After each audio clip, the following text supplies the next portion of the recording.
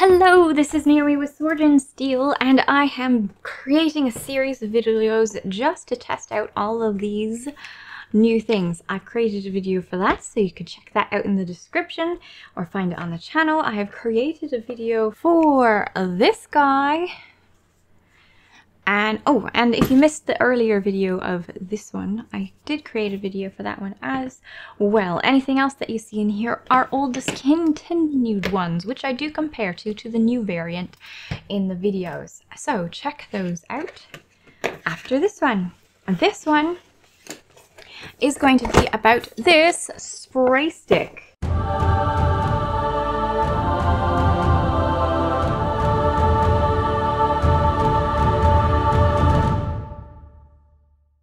This is a spray stick. Now, I have used multiple times over their previous spray stick.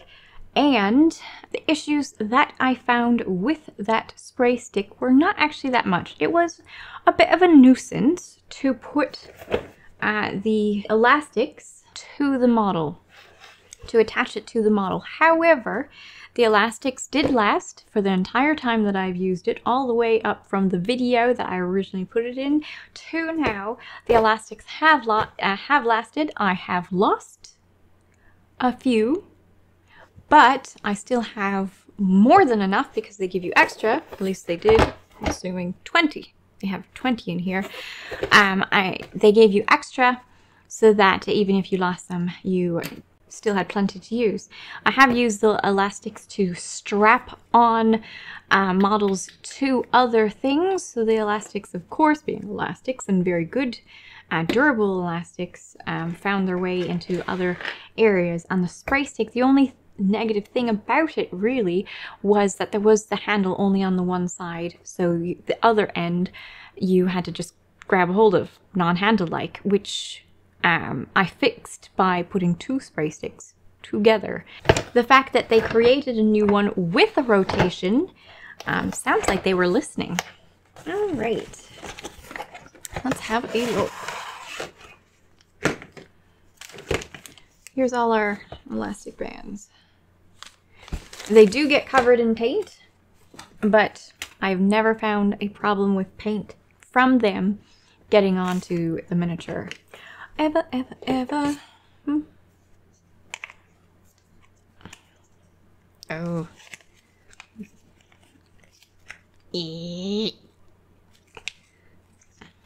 Just need a little bit of strength.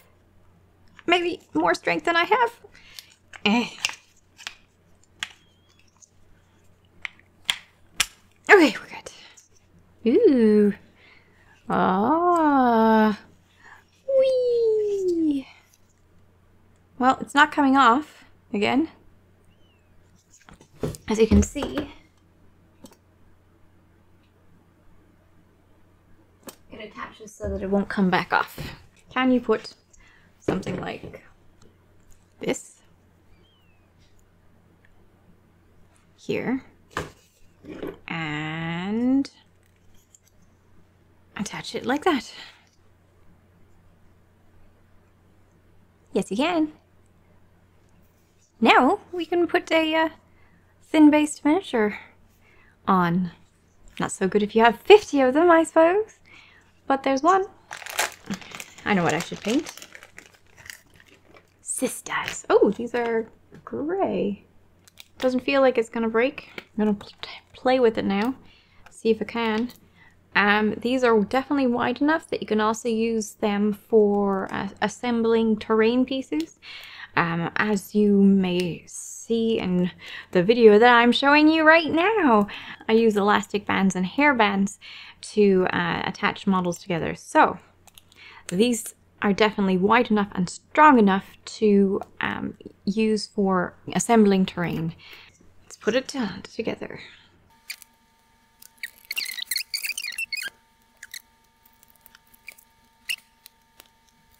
Alright. Kind of feels like I wouldn't mind having this off so that I could uh, put my miniatures... How easy is it to take it off? No, no, I'm not going to try that.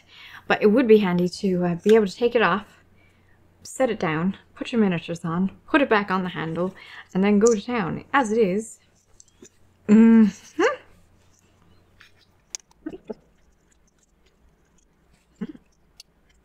Okay. I comfortably put five miniatures on. Um, I could put 10 on. I'm sure I could. Bringing these guys down and then putting those guys up. Here we go.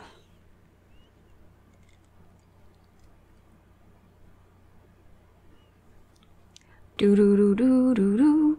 Bum bum bum bum bum bum bum bum bum bum ba da da da da da da da. Oh, it's a hurricane. Yeah. Glue them to the sprue, plop them in.